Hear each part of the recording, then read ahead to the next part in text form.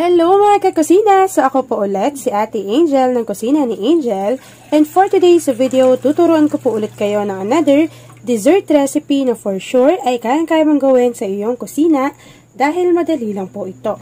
So this time naglagay lang tayo ng 3 cups of water sa ating kasirola at mag-a-add na po tayo dyan ng isang sachet or 24 grams nitong leche flan jelly mix and take note po na hindi pa naka-on yung apoy sa ating kalan.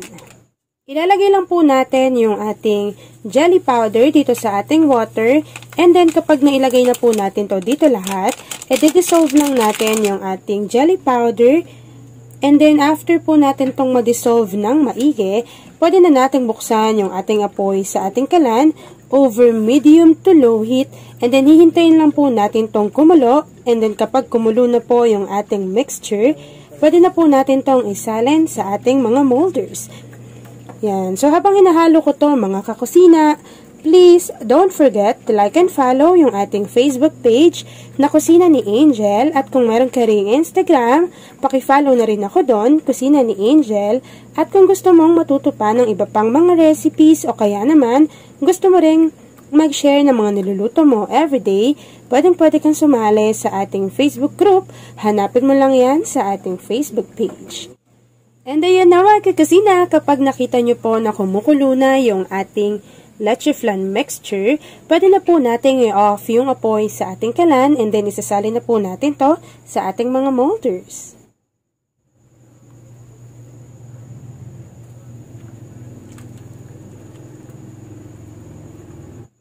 Kapag naisali na po natin yung ating leche flan jelly sa kanyang molder, isiset aside lang po muna natin yon hanggang sa makita natin mag-firm na siya.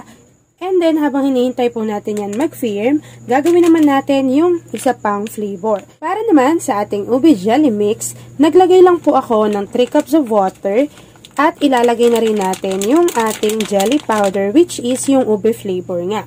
Kapag nailagay na natin yan dyan, ganun lang din po yung gagawin ninyo, kagaya nung ginawa natin sa ating leche flan flavor. So, i-dissolve po muna natin to ng maigi bago nating buksan yung apoy sa ating kalan. Yan. So, dapat po talaga na-dissolve ito ng maigi para wala pong namumuo dito sa ating mixture. And yes, mga kakusina, kaya 3 cups of water lang din yung inilagay ko dito para po mamaya kapag nag-set siya, ay hindi po ganun masyadong nagtutubig yung ating jelly at the same time, makunat-kunat po yung kalalabasan ng ating mixture.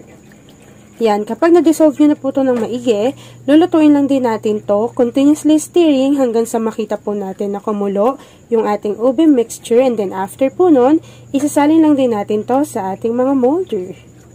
Ayan, so lulutuin ko lang to mga kakusina at ipapakita ko pa sa inyo yung next procedure para matapos yung ating dessert recipe na baka hindi mo pa nagagawa.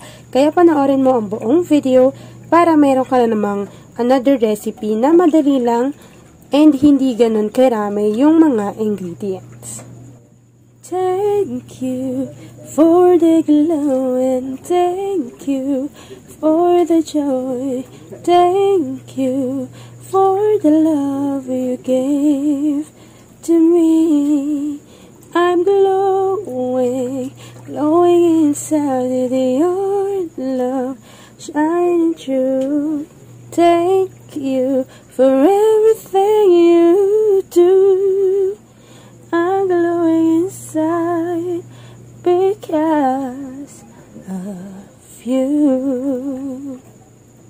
Nagluto na rin ako ng sago. So, yung nabili kong sago po ay yung malalaki, pero pwedeng pwede kayong gumamit ng maliliit.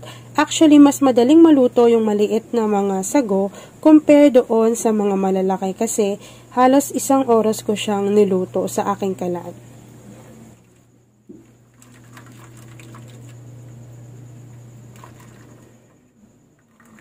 At kapag naisali na po natin yung ating ube jelly, isiset aside lang din muna natin yan And then after po nun, ready na yan para hiwain natin into cubes.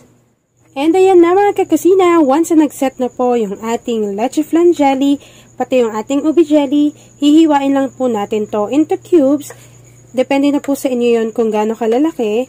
And then, ilalagay na po natin to sa ating mixing bowl. Ayan. And kung mapapansin po ninyo na maayos yung pagkakagawa natin ng jelly. Kasi nga, 3 cups of water lang yung ginamit natin. Ayan, ganun lang din po sa ating ubi jelly. Ayan, so kapag nahiwa nyo na po to into cubes, pwede na po natin tong ilagay sa ating mixing bowl. After po nating mahiwa into cubes yung ating mga jellies, maglalagay lang po tayo ng 1 can or 370 ml nitong all-purpose cream sa ating mixing bowl. And 1 can lang po ito, sakto na yung lasa niya dito sa dami ng ating mga jellies. After adding ng ating 1 can ng ating all-purpose cream, kakailanganin na rin po natin dito ng 390 grams ng condensed milk. Yan. So, yung condensed milk ko po ay naka-chilled overnight, pero pwedeng pwede po kayo dyan gumamit ng naka-room temperature na condensed milk.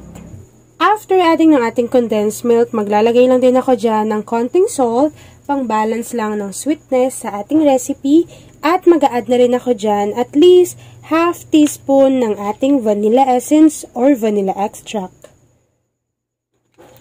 After adding ng ating mga ingredients dito sa ating mixing bowl, imimix lang po muna natin to ng maigi para mag-combine lang yung mga inilagay nating ingredients. At kapag na-mix na po natin to ng maigi, pwede na tayong mag-add dito ng cook na sago Depende na po sa inyo yon kung gaano karami, pero yung sa akin po ay 1 cup lang yung ilalagay ko.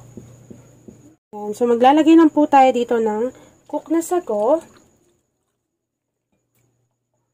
Malalaki po yung nabili ko, pero pwede po kayong gumamit ng maliliit.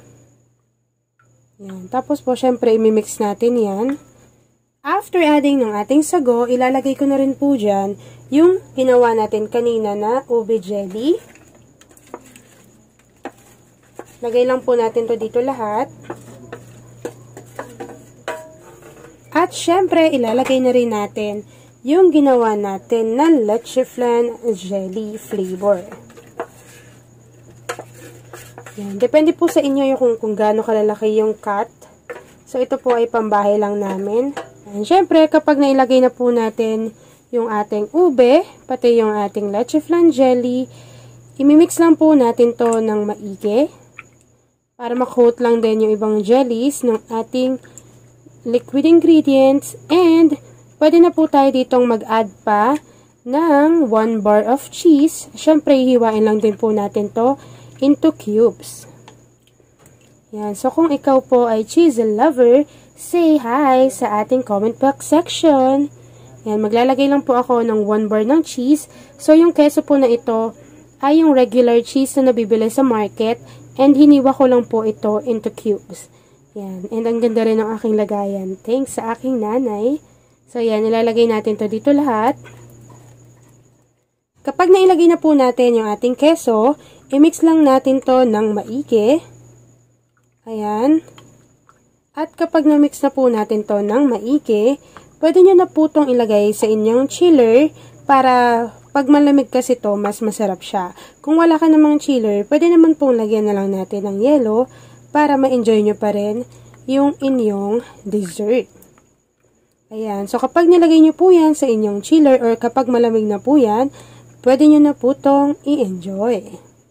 At ayun naman, kakusina, tapos na po ang ating Easy and yummy na ube leche flan jelly salad. Kung nagustuhan niyo po yung ating video, please like and share this video at kung hindi pa po kayo nakakapag-subscribe sa ating YouTube channel, please click subscribe button, click din na rin yung notification bell, click all para lagi kayong updated sa bawat ina-upload kong mga videos. Yun lang mga kakusina. Thanks for watching and enjoy this video.